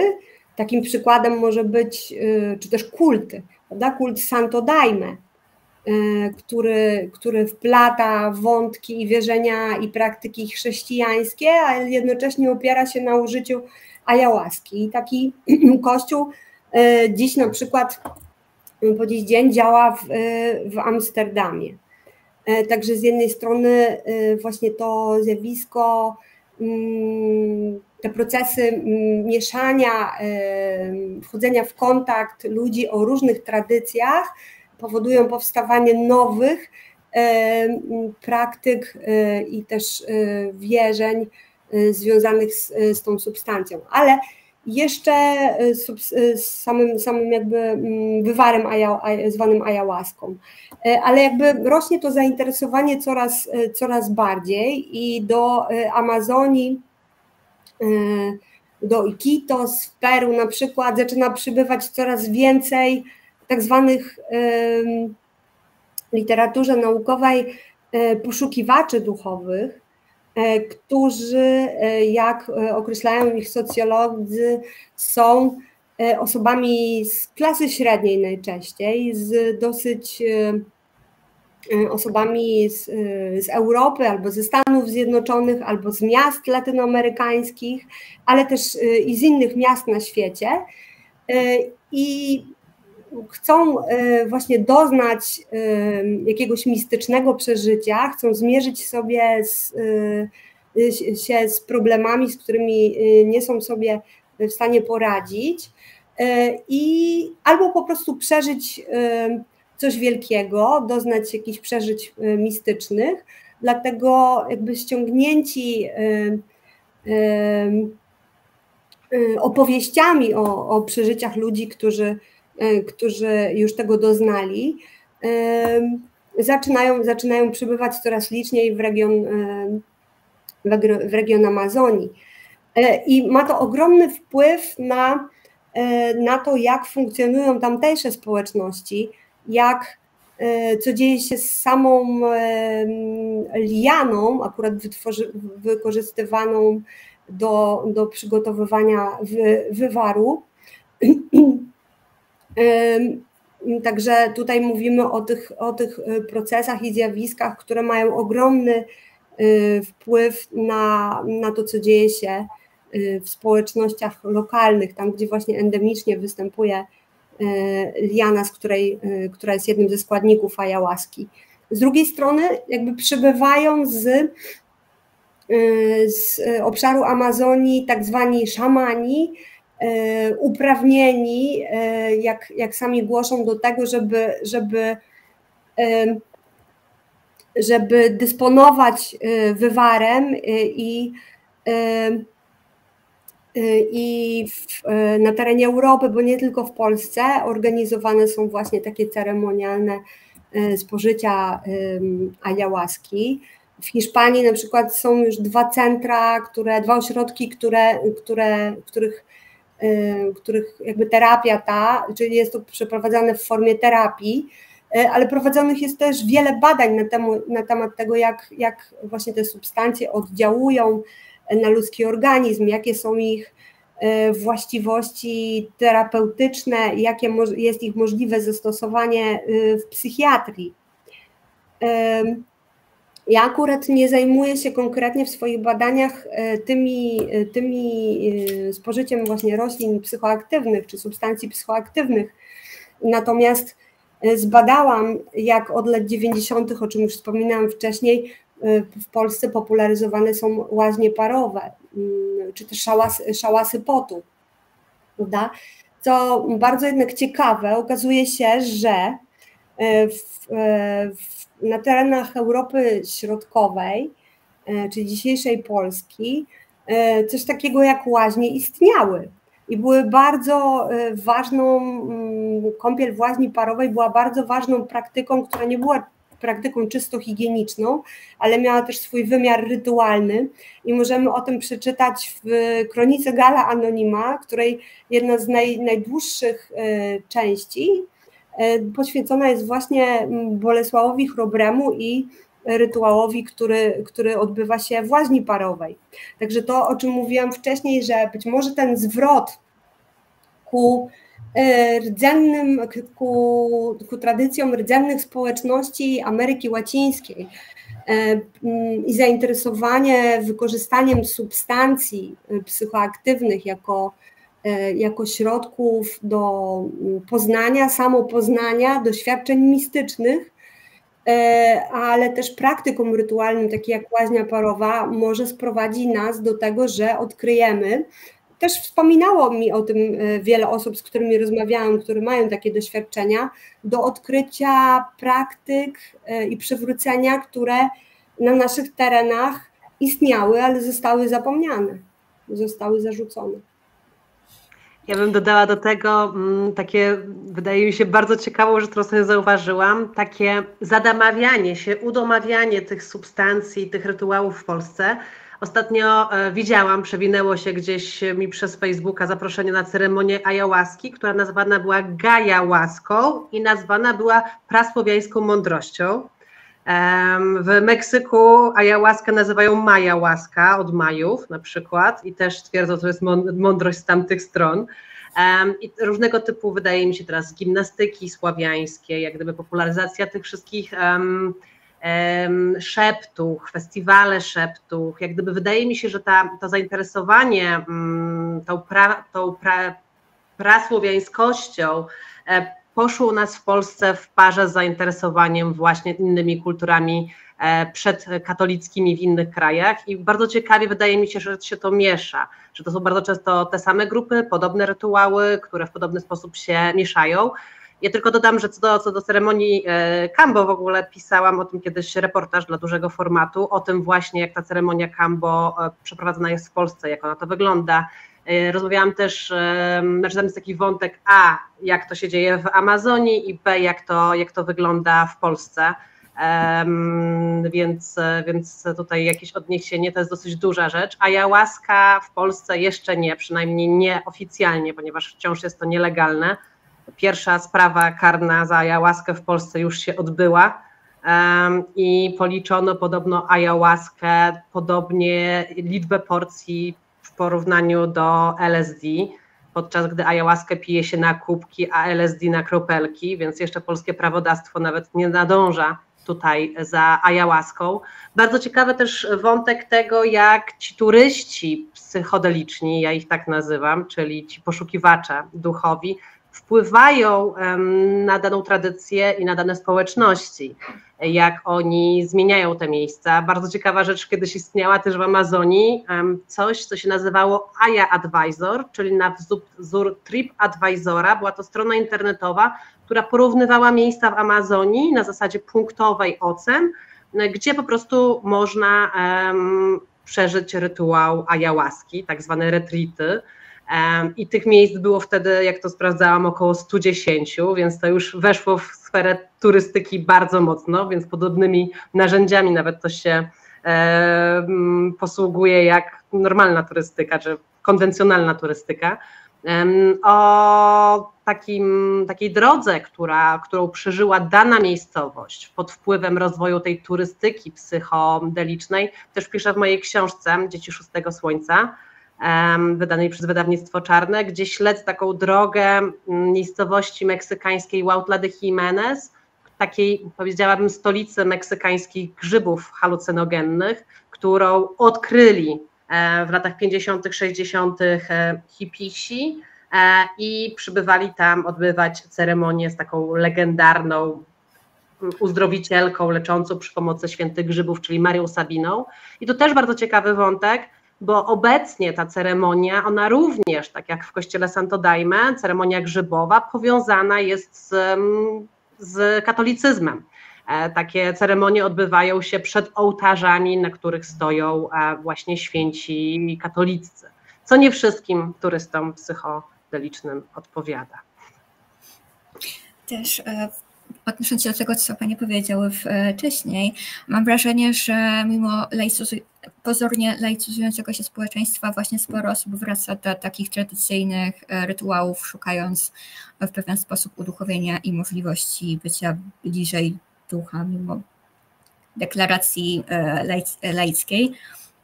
E, jednak odbiegając trochę od tematu e, stricte kulturowych, chciałabym się zwrócić do pani doktor Sawickiej z pytaniem dotyczącym trochę sportu. Jest to pytanie, które jednocześnie dotyczy kultury, jak i troszkę odbiega w zależności od tego, kto jak postrzega sport i czy je uważa częścią kultury. Moje pytanie dotyczy popularności igrzysk, popularności wpływu E, Igrzysk Olimpijskich i Mundialu na popularność Brazylii. Czy to jakoś w pewien sposób zwiększyło zainteresowanie kulturą brazylijską, czy po prostu Brazylią? Czy da się hmm. jakoś powiązać te dwa wydarzenia?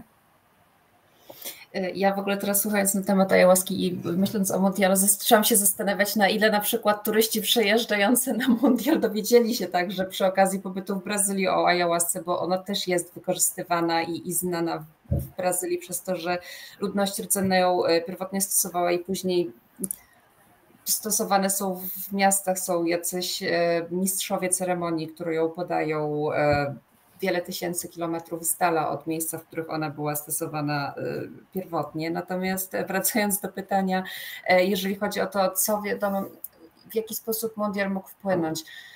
Mm, okres, kiedy w 2014 roku w Brazylii odbywały się Mistrzostwa Świata w piłce nożnej i dwa lata później e, letnie Igrzyska Olimpijskie w Rio de Janeiro, to były lata, kiedy oczywiście uwaga świata bardzo mocno skoncentrowała się na, na Brazylii. W wielu państwach, także w Polsce, było więcej programów poświęconych Brazylii. Było e, cały okres na przykład e, olimpiady, chociażby polska telewizja publiczna przygotowywała materiały, tam była ekipa na miejscu, która realizowała różnego rodzaju programy dotyczące kultury brazylijskiej, społeczeństwa, kwestii politycznych, więc to, było, mm, to był ten moment, na który Brazylia liczyła, że oprócz tego, że będą pewne korzyści ekonomiczne, co później okazało się być e, bardziej wątpliwe i, i trudniejsze do osiągnięcia niż wstępnie zakładano, e, ale liczono na to, że one, że one będą, no to, że jeszcze to będzie reklama dla Brazylii. I to, co jest bardzo istotne, Brazylia, kiedy zaczęła ubiegać się o organizację tych wielkich wydarzeń sportowych, znajdowała się w bardzo dobrej, tak w kontekście ostatnich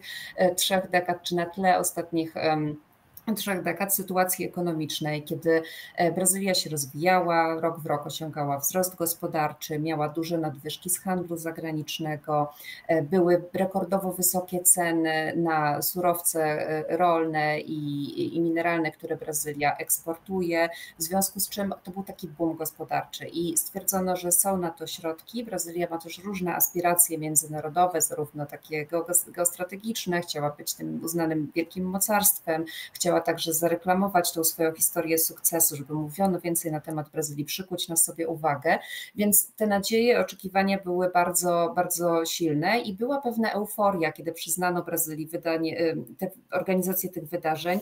To był rok 2007 y, dla Mundialu i 2009 w przypadku y, Igrzysk Olimpijskich. Ale, no to ale musi niestety tutaj nastąpić. Te lata, kiedy 14 i 16, kiedy Brazylia zaczyna, realizuje te, te imprezy, to już jest zupełnie inna sytuacja, dlatego że już nie rządzi wówczas e, prezydent Lula da Silva, obecny, przypominam, obecna głowa państwa, jest jego następczyni. Mamy sytuację, w której w 2014 roku jest już bardzo niespokojnie, dlatego y, jeżeli chodzi o nastroje społeczne wśród samych Brazylijczyków, ponieważ y, Brazylia, no następuje tąpnięcie, sytuacja gospodarcza się pogarsza. E, zaraz Brazylia wejdzie w okres recesji gospodarczej dwuletni, jest kryzys, wzrasta bezrobocie, e, spadają, spada realne wynagrodzenie Brazylijczyków i pojawia się e, niezadowolenie, które jest też związane po części z tym, że też apetyty Brazylijczyków są rozbudzone tą hossą, która, która ma miejsce wcześniej i okazuje się, że utrzymanie tych zmian, utrzymanie ich tempa i tej dynamiki będzie jednak trudniejsze niż mogło się wydawać jeszcze parę lat temu. I to się wiąże z ogromnymi protestami społecznymi, które wybuchają w 2013 roku. E, Brazylijczycy strajkują, Brazylijczycy są niezadowoleni i między innymi wynoszą taki postulat, że oni chcą szpitali, szpitali w standardzie FIFA, oni chcą szkół publicznych w standardzie FIFA, a nie wydawania e, ogromnych środków finansowych na rozbudowę obiektów sportowych, ich modernizację i być może na inwestycje, które z uwagi na potrzeby społeczne nie są tymi najbardziej kluczowymi. I to jest też przekaz, który idzie w świat. I jak zastanawiam się z perspektywy tych lat i same dyskusje w Brazylii, które toczyły się już po tym, kiedy te wydarzenia miały miejsce, to bardzo wiele uwagi poświęcono Brazylii problematycznej. To znaczy, z jednej strony to jest e, dobre, że, że dowiedziano się więcej na temat e, wyzwań, na temat nierówności, e, do dyskusji, poddawane to było dyskusjom, ale nie do końca o to chodziło klasie politycznej brazylijskiej, która dążyła do tego, żeby budować ten wizerunek wschodzącej Brazylii, wielkiej rozwijającej się potęgi, która ma ogromne aspiracje, e, państwa globalnego południa, który, który chce sięgać po to, żeby być takim ważnym aktorem uczestniczącym we wszystkich najważniejszych debatach globalnych, a tu się pokazuje protesty niezadowolonych Brazylijczyków, e, młodzież manifestującą przeciwko niskiej jakości oświaty, bardzo niskiej jakości usług, na przykład medycznych w publicznej służbie zdrowia, e, chronicznemu niedofinansowaniu, dużej przestępczości i te informacje, które pojawiały się o Brazylii, one nie były takie mm, cukierkowe i różowe, jak, jak można się można było tego oczekiwać jeszcze, czy, czy pozytywne, jak można było oczekiwać jeszcze kilka lat temu. Więc um, wydaje mi się, że kiedy rzuca się hasło Brazylia Mundial, Brazylia Igrzyska, to wiąże się to, z, skojarzenia będą, tak, impreza sportowa, Brazylijczycy, którzy bardzo ciepło, jednak mimo wszystko to chciałabym podkreślić, bardzo ciepło przyjęli tych turystów przyjeżdżających z całego świata, żeby uczestniczyć w tych igrzyskach. Brazy, Brazylijczycy, którzy, czy, czy Mundialu, którzy kochają wielkie wydarzenia sportowe, dla których to było wielkie święto, natomiast także no, protesty społeczne, e, kryzys gospodarczy, afera korupcyjna, o której e, wszyscy po chwili, już od 2014 roku ona zaczęła być bardzo e, intensywnie komentowana i zaczęto ją rozwijać, śledztwa zaczęły trwać i wielkie też prace i infrastrukturalne, inwestycje też były powiązane ona objęła też to przygotowanie do mundialu i do igrzysk, więc korupcja była też takim hasłem, które kojarzy się z e, tymi wydarzeniami sportowymi. impeachment prezydentki Dilma Rousseff, która już nie była urzędującą głową państwa w okresie, kiedy zrealizowano letnie Igrzyska Olimpijskie w Rio de Janeiro 2016 roku, więc gigantyczny kryzys polityczny, który był też efektem ubocznym rozpracowywanej afery korupcyjnej, to też są tematy, które były bardzo szeroko komentowane, kiedy uwaga świata skupiała się na Brazylii, tym organizatorze tych wielkich wydarzeń sportowych, więc to nie były raczej te efekty, których spodziewali się ci politycy, którzy zgłaszali Brazylię do, do tych wydarzeń. Więc dużo też takiej prawdy o Brazylii y, ujrzało, czy, czy skupiło na sobie uwagę świata, którą być może nie wszyscy w Brazylii chcieliby, żeby, żeby tego typu obrazy y, wychodziły poza, nie wiem, obszar regionu Ameryki Łacińskiej.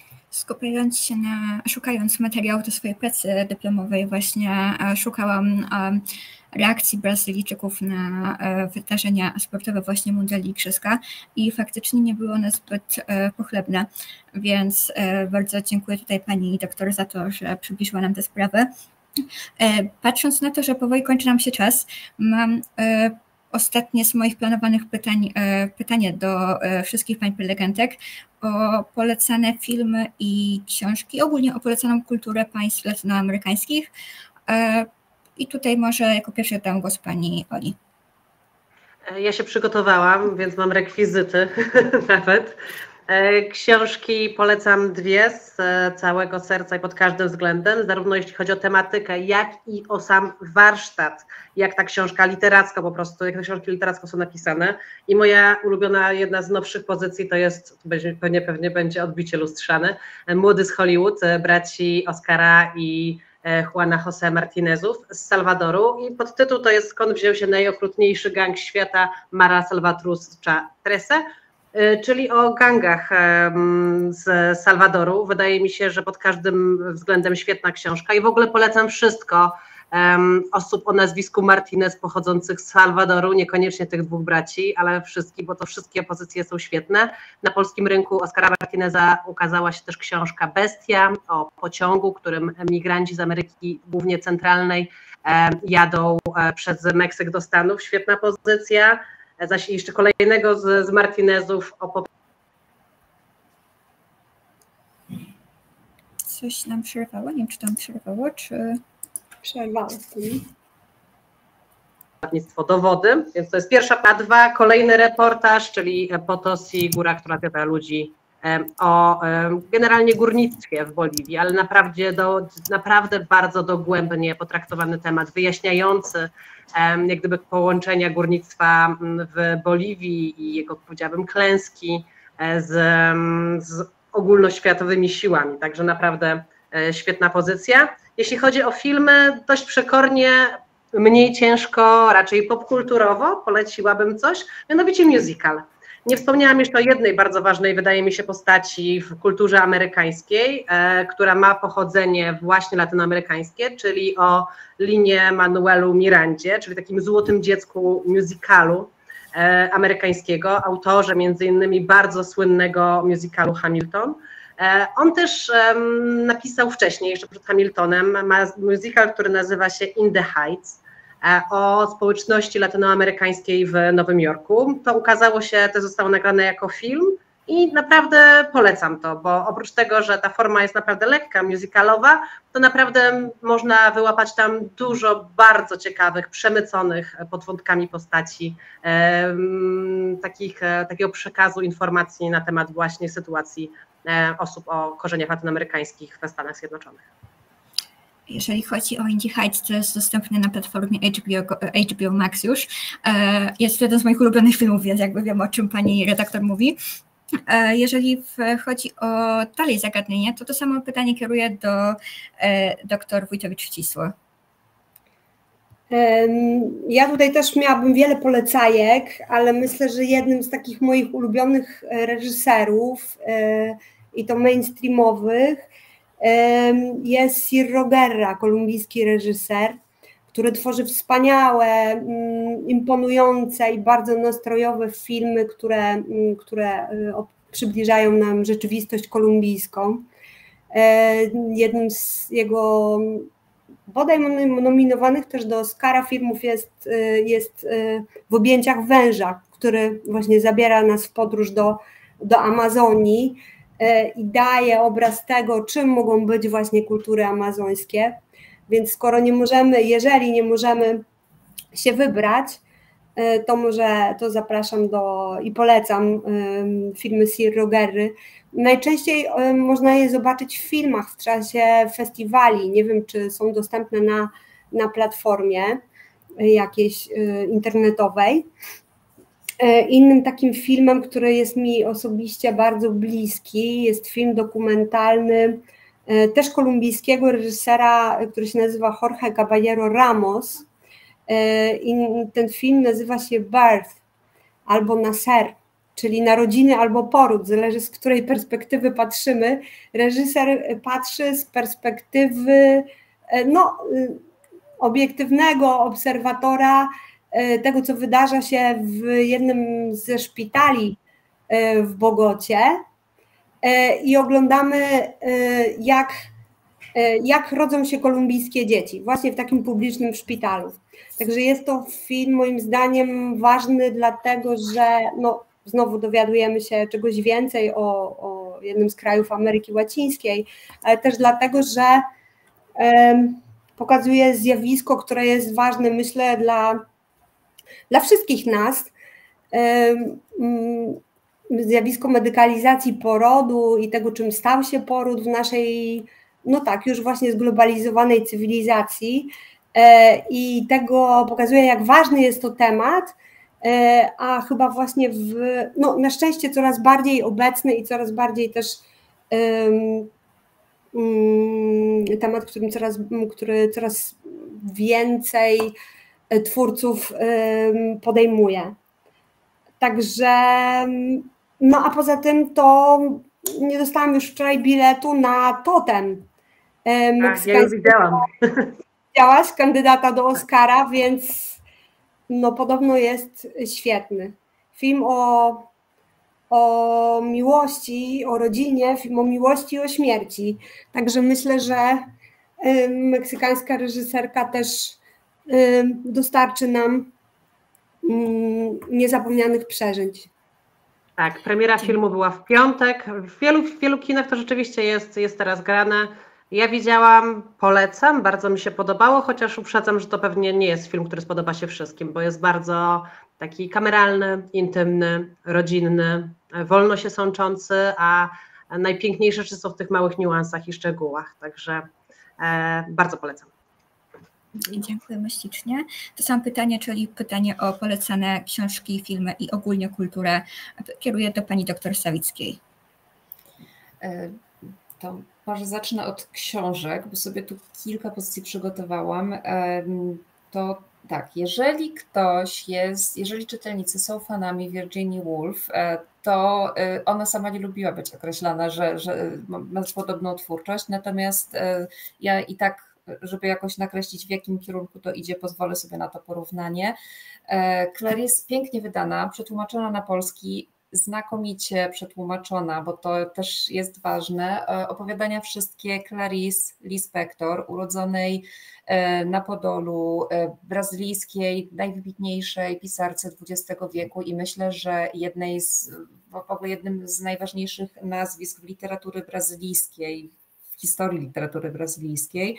To jest um, literatura bardzo introspektywna, można porównać nieco do estetyki i, i zabiegów literackich strumienia świadomości. Jest bardzo duży nacisk na psycholo- stany psychiczne, stany psychologiczne postaci. Bardzo często to są postaci kobiece, y, zarówno kobie- reprezentujące różne sfery społeczne, kobiety w różnym wieku, w różnych sytuacjach życiowych.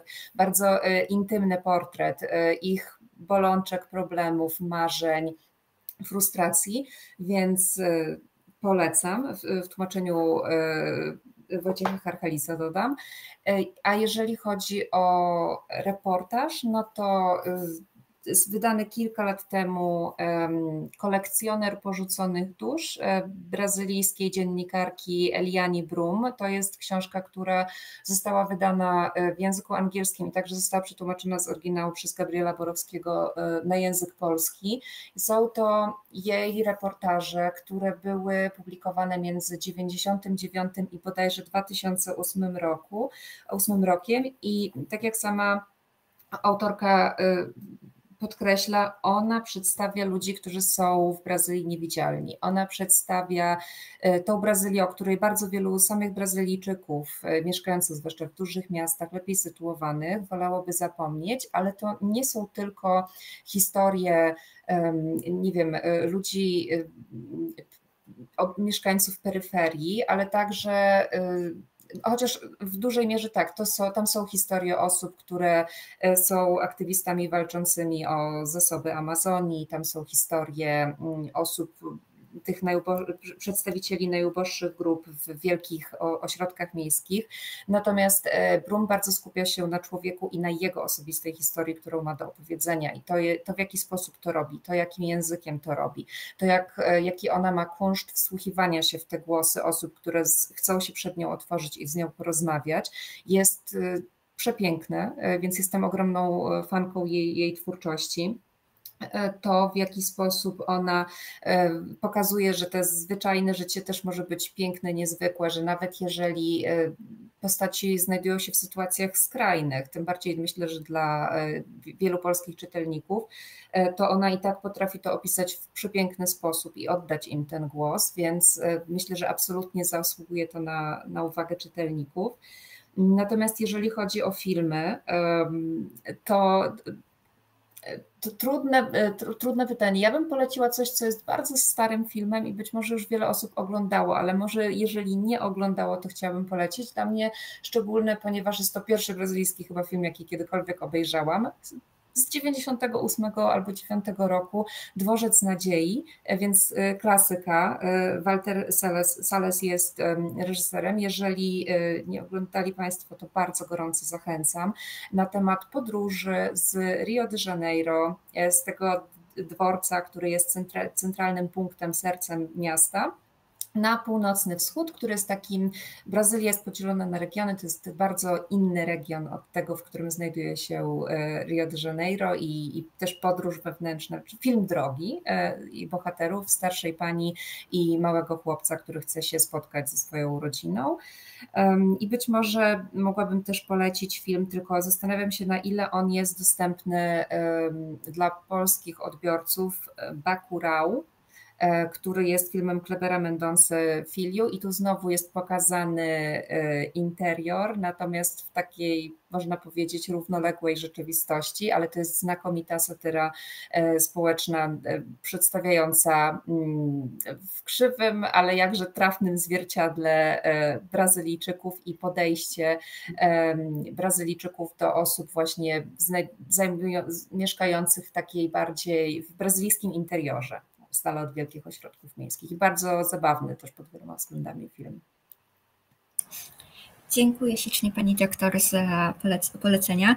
Na pewno będą e, ciekawe i ja, ja się chętnie z nim zapoznam, bo faktycznie nie kojarzę o filmach, które pani doktor, o których Pani doktor wspomina. E, I tak, e, co prawda czas już nam się bardzo, bardzo mocno kończy, aczkolwiek obiecałam pytania z czatu. E, myślę, że połączę tutaj e, dwa pytania w jedno, bo one są trochę podobne do siebie.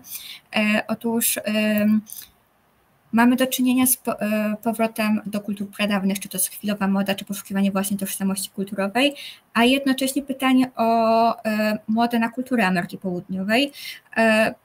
Czym ona jest spowodowana? Nie wiem, może któraś z Pań chciałaby się na ten temat powiedzieć, może Pani doktor e, Marta Wojtowicz-Ścisło, bo wiem, że to trochę temat e, Pani doktor. Tak, to trochę mój temat. Ja myślę, że e, z jednej strony to jest tak, poszukiwanie tego, czego, czego nie mamy, czego nam brakuje. Właśnie ta żywiołowość, ta barwność, ta wspólnotowość, o której mówiła pani Ola Synowiec, to właśnie to, czego czego szukamy, dlatego że sami tego nie mamy albo tak się postrzegamy. a także dlatego, czy już bardziej mowa tutaj o tych poszukiwaniach duchowych, że być może właśnie przeżywamy y, w Europie kryzys wartości, kryzys tożsamości y, i poszukujemy jej, gdzie to tylko możliwe. Myślę, że ma to też związek, to akurat mówię o, mm, o, tym, o, tym, o tym badanym przeze mnie temacie. Praktyk, popularyzacji praktyk rytualnych, jak łaźnia parowa, że mm, jakby żyjemy też w tym momencie, kiedy zaczynamy dowartościowywać ciało, że to już nie jest tylko ten rozum, który ma nas y, prowadzić w poznawaniu rzeczywistości i, i siebie samych, ale też, że ważnym naszym instrumentem, naszym wyposażeniem tutaj w życiu na Ziemi jest, jest ciało. I ono może służyć jako, jako właśnie mm, na, na, narzędzie, również jako być traktowane jako narzędzie poznania, a nie tylko analityczny umysł czy, czy rozum. E, to chyba tak, mogłabym w skrócie odpowiedzieć. Jeszcze do tego pytania o powrocie do kultur pradawnych, teraz mi zniknęło, więc nie zacytuję dokładnie, o, z powrotem do kultur pradawnych, tak. Jeszcze bym tylko podkreśliła tylko jedną rzecz, która nie wiem, czy wybrzmiała, Mianowicie to nie jest tak, że my jesteśmy w stanie odtworzyć um, coś, co istniało. Tak samo te wszystkie i rytuały, o których mówimy, to wszystko jest zmienione pod um, modłę, pod dzisiejsze normy, pod dzisiejszy światopogląd tych osób, które do tego sięgają. To jest bardzo, bardzo ciekawy motyw, ja o tym więcej piszę też w mojej książce w rozdziale o meksykańskich rodzimowiercach, że my też trochę wybieramy sobie rzeczy, i mielimy je przez pryzmat naszego dzisiejszego światopoglądu. Na przykład taki, taką historię opowiada mi właśnie jedna z meksykańskich rodzimowierczyń, że oni tam na siłę narzucają jak gdyby mm, równość kobiet i mężczyzn dawnym Mexikom. Na siłę właśnie się ich troszeczkę romantyzuje i to też nie jest do końca powrót. Powiedziałabym, że to jest nowa wartość inspirowana dawnymi kulturami czasem, po prostu. Tak, jak najbardziej się z tym zgodzę i właśnie to jest też, to jest ta, y, ten element, który jest bardzo kwestionowany przez, nie tylko przez naukowców, ale też i przez y, rdzennych aktywistów, prawda? bo zjawisko to wiąże, to wiąże się też z zawłaszczaniem, y, z mm, wykradaniem, można powiedzieć, prawda, praktyk e, tradycyjnych, które niektóre społeczności mogą uważać za właśnie im przynależne e, i postrzegane jest to też, może być to postrzegane jako, jako e, kulturobójstwo da, albo zwykła kradzież. Tutaj chodzi głównie o społeczności ze Stanów Zjednoczonych, czy już na północ od Rio Grande, bo też taka ciekawa zachodzi, zachodzi takie ciekawe zjawisko w latach 80. E, i na początku 90. łączenia się e, konsolidacji różnych ruchów e, indiańskich i też wymiany tradycji między nimi. I tak naprawdę te łaźnie potu, szałasy potu, którymi się zajmuję, i które są w Polsce dzisiaj organizowane, ale nie tylko też i w krajach Ameryki Łacińskiej właśnie, ale wśród społeczności miejskiej, poza tymi y, kontekstami rdzennych społeczności tradycyjnymi, to są y, właśnie takie, można powiedzieć, spreparowane ceremonie, które są w tradycji Lakotów, ale rozprzestrzenione przez ruchy tak zwane przez badaczy neoindiańskie albo neoszamańskie. No, ale to też już nie chciałabym tutaj zabierać za dużo czasu, bo może będzie inna okazja, żeby o tym porozmawiać. Nie wiem, czy pani Dobrosowicka też chciałaby się jakoś do tego odnieść, czy um, może oddam pani głos teraz. Jeżeli chodzi o popularność, powrót, znaczy powrót kultur pradawnych, to tu nie czuję się w ogóle na siłach, żeby na, żeby na ten temat odpowiedzieć. Jedyne, co kojarzę, no to ayahuasca rzeczywiście ona, zysk, znaczy w Brazylii ona była popularna nie, nie byłam w stanie dopytać osób, które, Brazylijczyków, którzy mi powiedzieli, że uczestniczyli w tego typu ceremoniałach, czy to jest coś, co powróciło, co się pojawiło oczywiście poza miejscem, gdzie ludność rdzenna stosuje te rytuały, tylko że po prostu, nie wiem, rytuał ayahuasca, którego można doświadczyć w São Paulo, no bo, no bo to jest możliwe. Natomiast z tym, że to się stało mm, bardziej popularne w Europie, no to wydaje mi się, że to jest chyba rzeczywiście zjawisko nowsze. Natomiast nie, nie śledziłam tego, z, w jaki sposób to zostało spopularyzowane i co do tego doprowadziło. A jak ocenia Pani modę na kulturę Ameryki Południowej, bo jednak Brazylia jest jej ważną częścią? Mhm. Myślę, że My i tak w Polsce mamy pod pewnymi względami szczęście, dlatego że ta, y, jeżeli popatrzymy sobie na literaturę, to y, mamy bardzo silną tradycję wielu dekad tłumaczenia literatury latynoamerykańskiej. Y, realizm magiczny był w Polsce popularny przed rokiem 89 i ja mam czasami wrażenie, że nasz rynek wydawniczy miał bardziej ograniczone możliwości, na przykład w latach 90., jeżeli chodzi o, o tłumaczenia, w porównaniu z tym, co wydawano w latach, e, jeśli dobrze pamiętam, 60., 70. i 80., bo my mamy od wielu dekad przetłumaczone e, prace, nie wiem, chociażby e, Borgesa, tak? Dla, dla, przykładu. Chociaż potem tłumaczyliśmy też powieści Josy, kontynuowaliśmy, mamy tłumaczonego Markeza, więc ta literatura latynoamerykańska, ona była dostępna dla polskiego czytelnika także w, w czasach PRL-u i, um, i pod tym względem wydaje mi się, że doceniamy od strony, um, od tej strony kontynent od dłuższego czasu.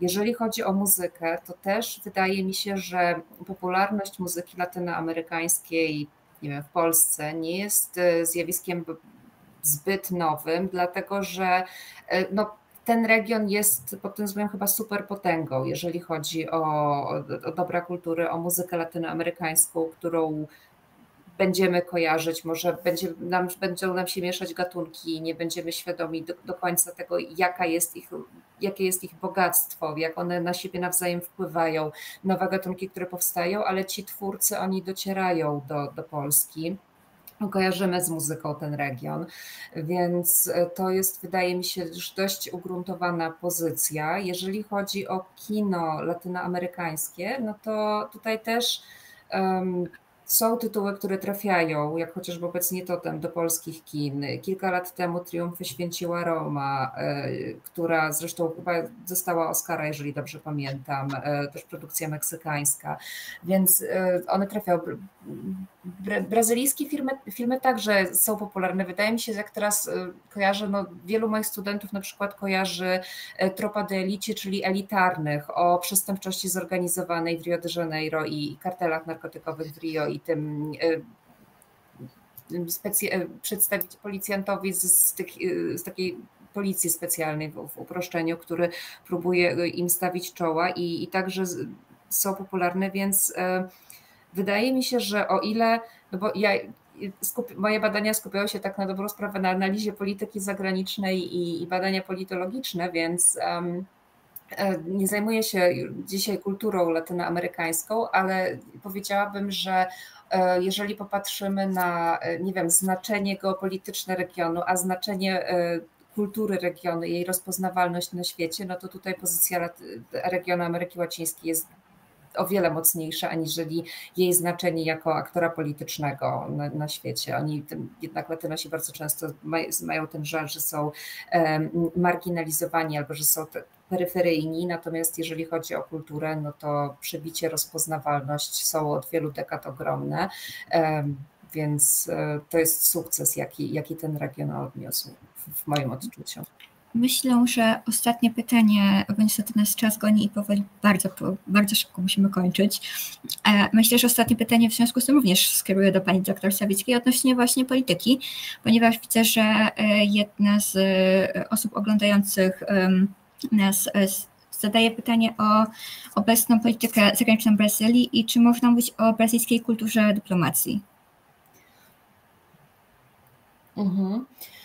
To jest bardzo ciekawe pytanie, bo e, przy analizie polityki zagranicznej e, zwraca się uwagę na to, że no, mamy pewne standardy uniwersalne, instrumenty polityki zagranicznej, które będą stosowane przez Azjatów i, i przez Latynosów i przez, nie wiem, Europejczyków, więc tutaj o uwarunkowaniach kulturowych się tak dużo nie mówi, natomiast styl, styl uprawiania dyplomacji, myślę, że można tutaj mówić o pewnych uwarunkowaniach kulturowych. E, I ja może zacznę od y, pierwszej podstawowej kwestii, która e, jest y, wyzna, wyróżnia Brazylię w regionie, ale także na świecie. Brazylia ma znakomicie przygotowany korpus dyplomatyczny. Brazylijscy dyplomaci e, są kształceni w znakomitej szkole dyplomacji, do której jest niezwykle trudno e, się dostać. Są, mają znakomite przygotowanie techniczne, są wysyłani na. W ogóle całe, całe szkolenie tego korpusu jest bardzo starannie przeprowadzone, e, więc mamy tutaj wysoki poziom profesjonalizacji i w ogóle profesjonalizmu także. Oni organizują kursy dla dyplomatów latynoamerykańskich czy między innymi afrykańskich, którzy, z ogrom, którzy bardzo, cieszą się dużym zainteresowaniem. Mm, są bardzo uznani, są uznani ze swojego przygotowania, są bardzo dobrymi, skutecznymi negocjatorami przy, na różnego rodzaju forach, negocjacji handlowych w, w szczególności. E, to od strony takiej e, można technicznej. Natomiast też e, jest myślę, że oni cieszą się także e, bardzo często mm,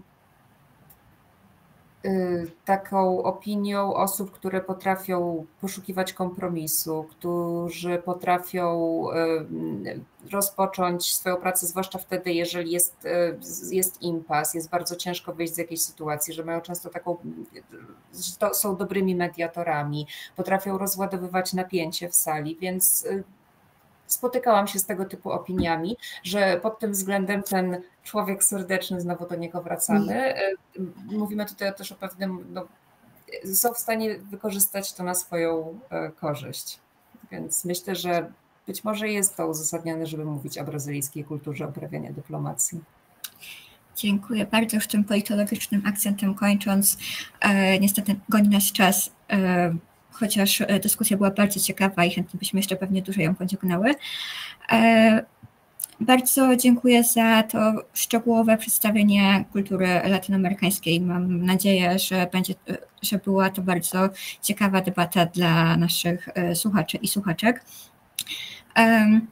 Jeszcze raz bardzo dziękuję moim gościniom, Moja gościnie to pani e, Aleksandra Sonowiec, pani doktor Marta Wójtowicz-Ścisło, a także pani doktor e, Monika Sawicka. Dziękuję ślicznie e, za poświęcony czas. Dziękuję bardzo. Dziękuję bardzo. Dziękuję.